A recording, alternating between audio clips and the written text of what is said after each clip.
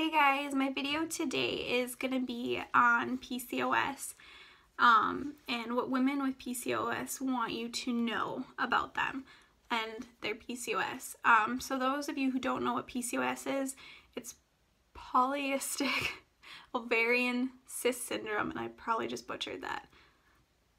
Anyways, um, so what it means is sometimes you get cysts on your ovaries, some women don't get cysts on their ovaries, um, kind of like a hormone imbalance thing. There's a lot of other symptoms to it, um, but that is the gist of what it is.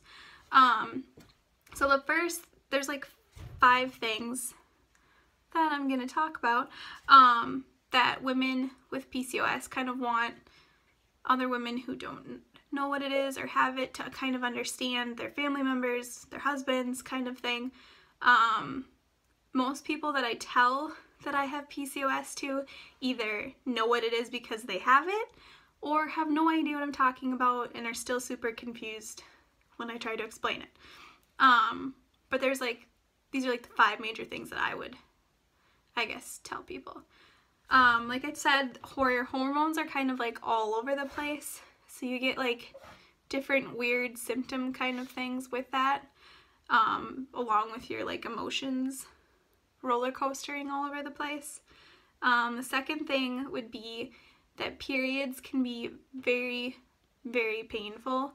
Um, I remember in high school I had really bad like cramping, like super bad cramping. It's gotten a lot better um, as I've gotten older, but it was like very bad. Like I'd be heat packing all the time and ibuprofen. It was just not a fun time. It's gotten a lot better though.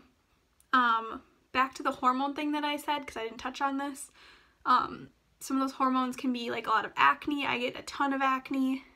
I covered it up pretty, hopefully pretty good for this video, but I get a ton of acne. You can also get like facial hair all, all over the place. Um, and off of that, my number three thing that I would say is that losing weight is a lot harder for women with PCOS, kind of with the hormone thing. Um, I have yo-yoed my weight my entire life. Um, and it's just kind of always been a pretty big struggle. I did lose weight with the keto diet pretty well or like Atkins. I've lost weight with both of those two because they're low carb um, high protein, high fat, depending on which one you do. Um, so I found success with that, but it still is very hard to lose weight with PCOS. So um, a lot of women with PCOS end up getting to be like considered obese. They're not obese, you're beautiful. Anyways, um, but yeah, losing weight is a lot harder. Um, number four, not having your period when you have PCOS is terrifying because my number five is going to be fertility is an extreme pain in the beep.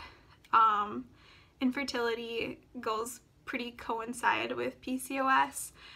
Um, so when you want to get that positive pregnancy test over and over and over and over again and you just don't get a period that month or your period decides to come three weeks late, two weeks late, then all of a sudden it's like a week early.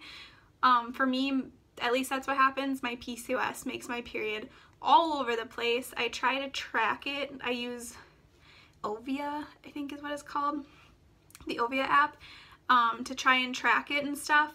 But it makes getting pregnant very hard. So when you miss your period, you get super excited thinking you're pregnant and it's like, oh no, you're not pregnant. You're just not gonna have a period this month and it's gonna be two times worse next month. It really sucks. Um, but yeah, so it's terrifying, exciting. You don't know something else is wrong going on. You don't know if you're getting like a cyst. I personally never had cysts. I heard that they're horrible and extremely painful. Hoping I never get one. Sorry for y'all that have because it sounds horrible. Um, anyways, back to number five. The fertility is very frustrating. Like I said, for me, it took us a very long time to get pregnant. Um, I've made a video about, a couple videos about that, how it took over two years. Um, I had a miscarriage and then got pregnant again and currently am pregnant. Um, but it took us over two year uh, two years to get pregnant trying and before that we weren't really preventing just nothing was happening because of my PCOS um, and the ovulation being all over the place. So it can be very frustrating. You always have those family members and friends are like oh when are you gonna get pregnant? or when are you guys starting a family? and da da da da and you're like we've been trying for two years. But you're just like oh I don't know. So those are my top five things. They're the things that I would tell people who are family members, spouses, friends of women because like I said it can be can be overwhelming when people are asking you when you're going to have a baby and you're struggling very hard to get pregnant. Um yeah, or other things to do with it. So, I hope this video is helpful. Um, comment down below if you have any experience or anything else that you would suggest telling people.